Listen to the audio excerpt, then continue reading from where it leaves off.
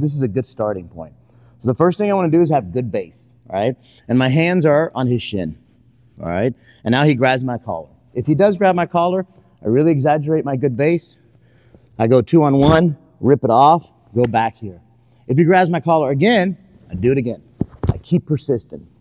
Now I put my hand on his shin, step back, step forward, pinch, and put pressure on his thigh and sit in this really good base. Use my elbow to clear his other foot, put my hand on his hip and make heavy on the hip. Grab the outside right over here, a big chunk of the cloth, and make a fist. Now I kick. As I kick, I make an X with my arms. At the very last second, I slide my knee all the way into knee on belly. My foot should be in line with his shoulder. Grab his collar with my fingers in and my thumb out. Grab the outside of his elbow, pick him up, put pressure, and there you have it.